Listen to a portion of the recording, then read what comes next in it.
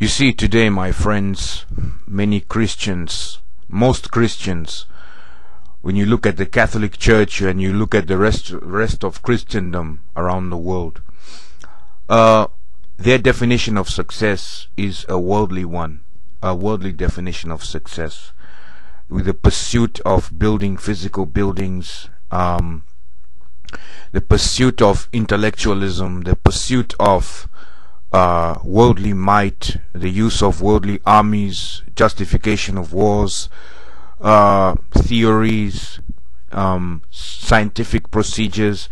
These are the things that uh, most Christendom exalts. You see, is worldly success, worldly strategies. You see, worldly knowledge. What they don't tell people. You see, while they promote this worldliness, and the hierarchy that uh, is needed to attain this worldliness is what is really going on on top. You see, it's like uh, a show on television that, if, for example, if they show it, they'll show the life of a rich or famous person, a celebrity, and all these things, and then they'll cause the masses who watch this show to lust after those things, to covet what those people have and that kind of life. You see, uh, what they don't tell you is what those people have done to get what they have. You see, they haven't told you all those kind of things. But what they need is for you to believe in that kind of life so that they can make merchandise of you. You see? And uh, and deceive uh, deceive you into living your life um, following after the pursuits of this this kind of existence. You see, where you may have a house and a car and all these things, but at the end of the day, uh, you number one, you won't have most of the time what they have. You see, it's just going to be a a, a, a, a false dream, and then you'll never have what God has destined for you. You see, and uh, unfortunately, when you the latter has eternal repercussions. You see?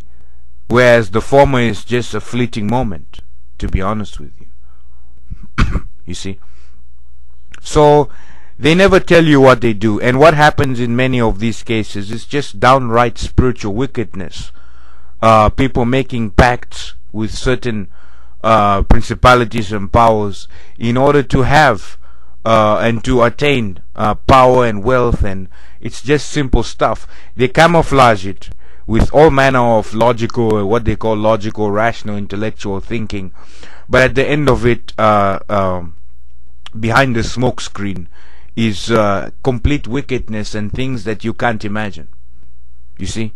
And that's why most people don't really know what it takes in order to get what uh, those people are getting and um, so they leave people in that. And then the churches it's the same thing. I mean for me to see someone who calls himself uh, you know a, a, mediator between me and god and he wears all this outer clothing and raiments made of gold diamonds and uh, silver and all this this has got nothing to do with the kingdom of god. The more somebody wants me to see the outer the more there's something wrong with that person the more they want me to see them, the more there's something wrong with that. Because if you truly are following Jesus Christ, you will want me to see not the flesh at all, not one iota. You're not, you would not want me to see yourself. I would not want you to see myself. I have to die to that, expose it, and tell you, hey, my friend, me, I'm nothing. you see? But instead they dazzle and razzle and dazzle you and overwhelm your physical senses with massive, luxurious looking uh, buildings, majestic, you see, the most exquisite in the world. You see, uh, they, they, they, they show you all manner of intellectual thinking, great strides they are making, great progress. Use words like progress. You see,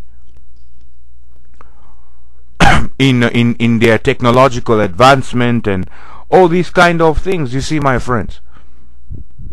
and they lure people, you see, in order to biting onto that uh, hook of deception, you see, and then they reel people in, you see. The truth is that, my friends, all these things that the world has, the worldly definition of success, is a failure. You see, it's a failure.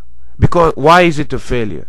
Because it's got nothing to do with the kingdom of God. You see, the kingdom of God is a kingdom that is not of this world. In order to attain this kingdom, you start losing the world. You see, you start becoming foolishness to the eyes, which are the physical eyes. You see, you start appearing, you know, without any might, without any intellectual capacity, you see. Because all this intellectual thinking, you see, the knowledge that's abounding today, it's foolishness with God. Because as much knowledge as they have, uh, they don't have the knowledge of God. You see? They talk about, well, you know, we are able to do things faster. We're able to, wherever there's one step forward, they're not looking at the 50 steps backwards that are coming. You see, because they don't know everything. You see, one minute they'll say it's success, 50 years later they'll say it's a failure. It's the cause of another problem. You see? And the ones who are deceiving people are, are the, peop- are the spiritual wickedness in high places the principalities and powers that are ruling this world. Those are deceiving people. You see? Telling them all manner of lies. and people believe it. You see? They believe in those things. You see? Why? Because they are giving them power, wealth, money, all kinds of things like this. You see? So it's easy. I mean, if somebody was to come and tell me, or something was to come and tell me that, hey, I'm going to give you a billion you know billions of of dollars you see? Mm, all you have to do is this. It's a tough choice.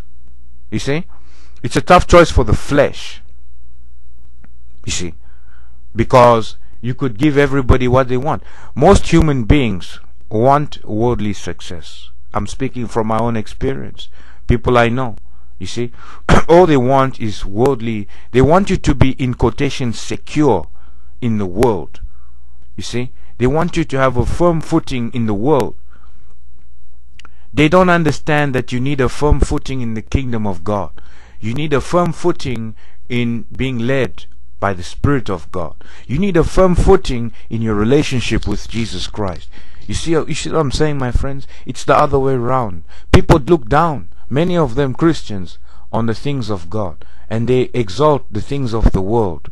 You see, and unfortunately, when everything gets confounded and all their trusts get shattered before their physical eyes, which is what they used to see, and their physical senses, which is what they used to perceive, when that shattering happens, then they will realize, and a lot of the time it may be late, it may be too late. You see, then they realize that what they put their trust in is a failure. You see? And they never built their house on the rock. You see, and that's what people don't understand. They call you foolish. They'll call you foolish. And call you all kinds of things for now. It's okay. It's tough. It's not easy.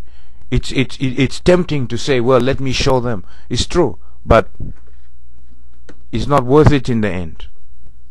because you're not living your life for something temporary.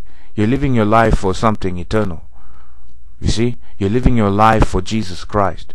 All people will say all kinds of things. Family members, uh, uh, people you know, all kinds of people say things. They don't understand what they're talking about. You see? They'll tell you, oh, you need to do this and you need to do that. They give you what? Conventional wisdom. You see? They don't realize that you talk to wisdom every day. You see? And many, many of them who say they follow Jesus Christ, they, they don't know Him. You see, they want Jesus Christ to, uh, uh, uh, uh they want uh, Jesus Christ who justifies everything that they want. You see, their goals. which is all got to do with worldly success. And the problem is with ants is they don't know that the lions rule the kingdom. You see? What I mean by lions, lions are the, the ferocious ones. You see? The ones who don't care about anything but their own meat at the end. You see? And everything revolves around what they want, what they say, what they do. You see? But with the kingdom of God, it is the ants who become the, the greatest. You see? The least. Because they know their weakness and they know that they need one who is greater, the one who, created all things. You see? By His word. You see, who was in the beginning, who is now, and who's coming. You see? So, my friends, don't trust in this worldly success these worldly definitions, intellectualism, all these. If you have these things, consider it foolishness. You see, humble yourself in your heart before Jesus Christ.